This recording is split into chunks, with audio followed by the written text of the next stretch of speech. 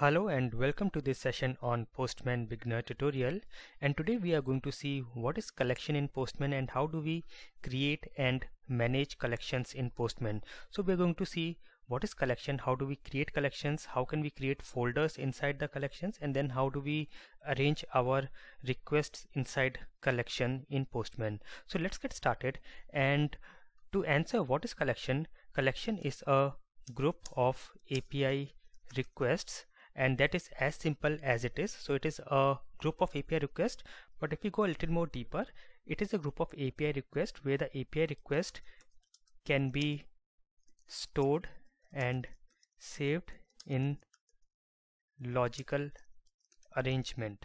Now what does this mean? Let us go to our postman and here we have created a collection in our earlier session. Now you can go to the new tab or go to file and new.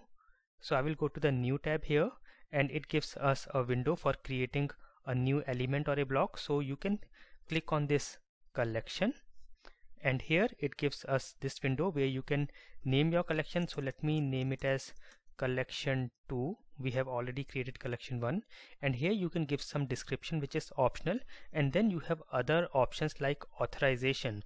So now this becomes very useful in case you are going to have a number of requests inside your collection that are all going to use some common authentication method.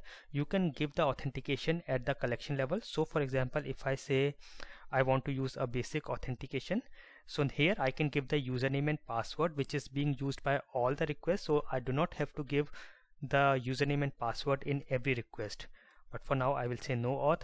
Similarly the pre-request scripts you can give here. In case you have some common test you can give it here. And then in case uh, common variables for all your requests you can give it here. So for now I will just leave all this and say create. And you can see we have the collection 2 created here which has zero requests. Now if you click on this arrow button here you can see we have some other options. We have an option to share the collection so you can share the collections among the workspaces. You have the option to run.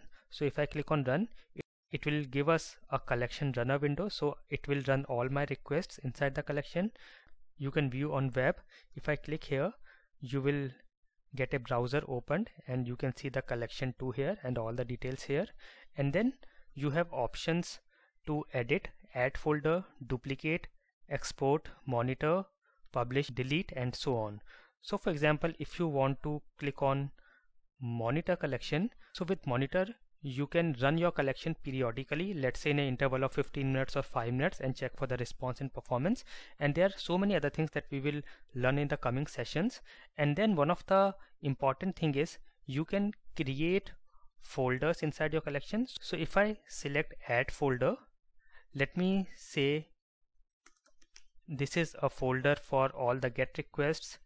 So you can see we have got the folder here and similarly I will create another folder and say all the post requests should be getting into this post folder.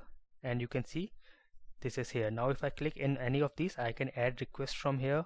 I can add more requests inside the folder. So in this way you can do some logical grouping of your requests inside the collection. And then collection also forms the basis for advanced operations in Postman and we will look at all these operations in the coming session.